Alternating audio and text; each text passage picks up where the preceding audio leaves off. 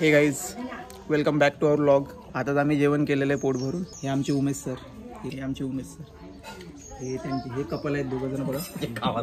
हे आपले भाऊ. हे दोघे आपले भाऊ. मस्त फिश खाल्ली आहे. आम्ही फिशचे व्हिडिओ नाही घेतले. तुम्हाला फोटो पाठवू मस्तपैकी. एक नंबर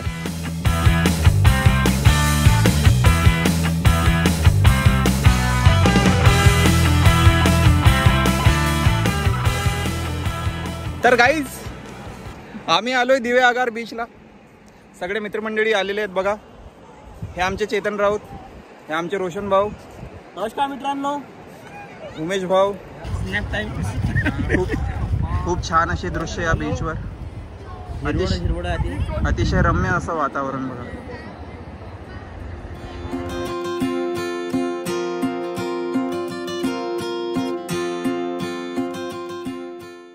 एकीकडे सुंदर आणि विशाल काय सह्याद्री पर्वतरांगा. दुसरीकडं अथांग असा अरेबियन समुद्र.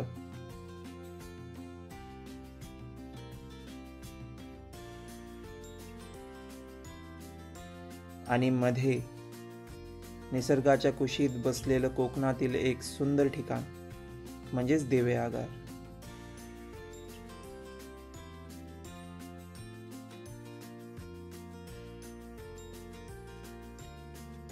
नुकतंच गणपती विसर्जन होऊन गेलं होतं. आणि इथे यायच्या काही दिवसापासनं लगातार पाऊस सुरू होता.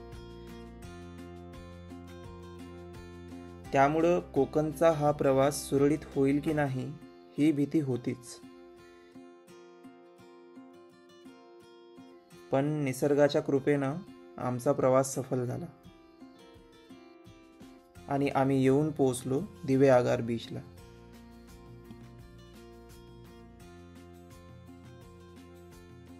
बीचवर निवांत वेळ घालवला. एकीकडे समुद्राच्या लाटा ध्यानस्तब्ध करणारा पाण्याचा आवाज आणि दुसरीकडे हिरवीगार झाडं. हे सगळं बघण्यात मन रमून गेलं होतं. निसर्गाची सुंदरता मनात साठवून आणि कृतज्ञ होऊन आम्ही पुढच्या ठिकाणी वाटचाल केली. रूप नारायण सुंदर नारायण. आमचे आमचे गाईड जरा खूप अनरिलायबल आहेत तर क्षमा असावी त्याबद्दल. पहिल्यांदा मी असा माझा अनुभव शेअर करत आहे. मग पहिल्यांदा मी सांगत आहे असं. पहिल्यांदा सांगताय? बरं. आपण कसं समजून घ्यावे. दिवे आगार बीचपासनं जवळच असलेलं एक सुंदर मंदिर.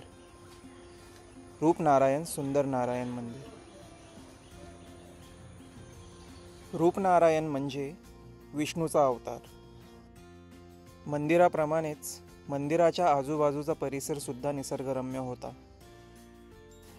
मंदिराचा इतिहास सांगायचा झाला तर म्हटलं जातं एकेकाळी या ठिकाणी शिलाहारांची उत्तर शाखा होती त्यांचं वर्चस्व होतं.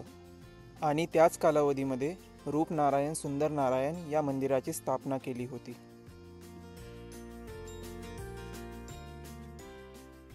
खंबीर उभा असलेला हा लाल दीपस्तंभ हिरव्या निसर्गाच्या सुंदरतेत अजूनच भर घालत होता. मंदिराच्या आत असलेली विष्णूंची मूर्ती ही हिरव्या व काळ्या संगमरवर दगडांपासून कोरलेली होती. मंदिराच्या आतल्या आवारात व्हिडिओ रेकॉर्डिंग करण्यास मनाई असल्यामुळं मी तिथे रेकॉर्डिंग केली नाही. पण या ठिकाणची सुंदरता अनुभवायला आपण एकदा नक्कीच भेट द्यायला हवी. मंदिराच्या बाहेरील आवारात एक छोटं जलकुंड होतं व नुकत्याच झालेल्या पावसामुळं त्यामध्ये पाणी साठलेलं सुद्धा दिसत होतं.